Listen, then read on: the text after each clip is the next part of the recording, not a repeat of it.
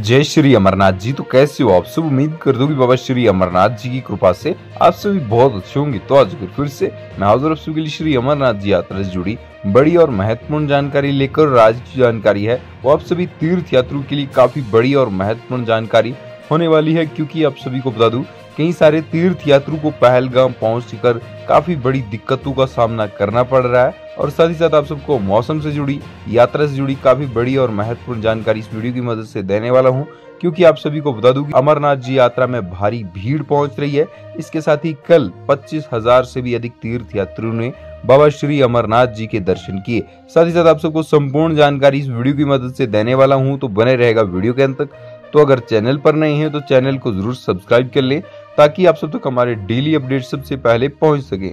आप सभी श्रद्धालु के लिए सबसे बड़ी जानकारी यह है कि अमरनाथ यात्रा में जो भी श्रद्धालु पहलगाम में पहुँच रहे उन्हें सबसे बड़ी दिक्कतों का क्या सामना करना पड़ रहा है? तो देखिए, सबसे पहले बड़ी बात यह है कि अगर आपने पैसे देकर अपना रजिस्ट्रेशन करवाया है, जो फेक रजिस्ट्रेशन में आता है, या फिर आपके पास ओल्ड प्रोसेस से बना हुआ यात्रा परमिट है तो इन दोनों से आपको बड़ी परेशानी उठानी पड़ सकती है।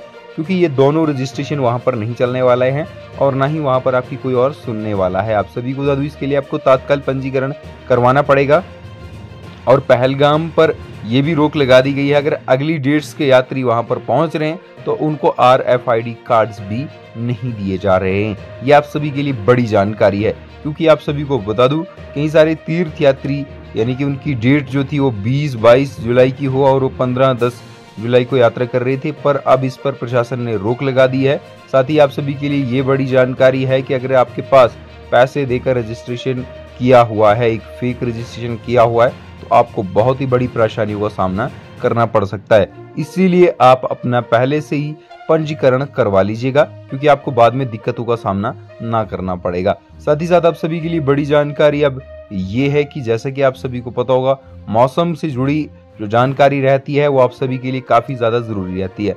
मौसम से जुड़ी यही जानकारी है कि मौसम फ़िलहाल अगले दिनों छुटपुट साफ़ रहेगा।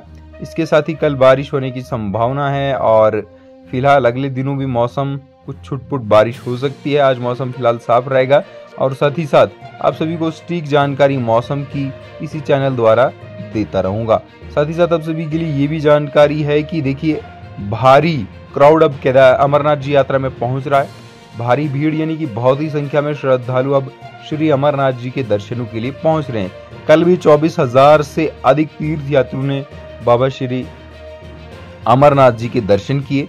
इसमें एक लाख सतासी हज़ार लोग अब तक दर्शन कर चुके हैं बाबा श्री अमरनाथ जी के, जो कि सबसे बड़ी आप सभी के लिए बता दूँ कि अब तक की कामयाबी है और काफ़ी ज़्यादा यात्री दर्शनों के लिए पहुँच भी रहे इसके साथ ही आप सभी को ये भी बता दूँ कि देखिए, एक बार फिर से मैं रिपीट कर रहा हूँ, जो आप सभी के लिए सबसे ज़्यादा ज़रूरी जानकारी है।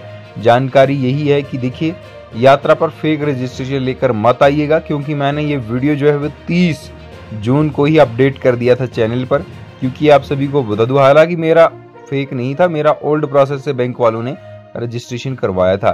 तो देखिए, फ़िलहाल आप सभी को बता दूँ कि जो जानकारी है वो यही है कि जितने भी श्रद्धालु जिनका फेक रजिस्ट्रेशन हुआ है, यानी कि एजेंट के थ्रू हुआ है तो उन सभी को रोका जा रहा है। इसके साथ ही साथ ये भी जानकारी है कि देखिए, जैसे कि यात्रा परमिट होता है वो जो ऑनलाइन होता है उसकी केवाईसी होती है तो जो फेक होता है उसका कुछ होता ही नहीं, क्योंकि उसका यात्रा परमिट ऑनलाइन रहता ही नहीं है। यात्रा परमिट ऑनलाइन होता है और उसके बाद ही आपकी यात्रा होती है। इसके बाद ही आपको R F I D card मिलते हैं।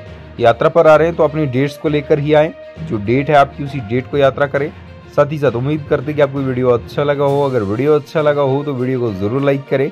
साथ ही चैनल को ज़रूर सब्सक्राइब करें। जय श्री अमरनाथ जी।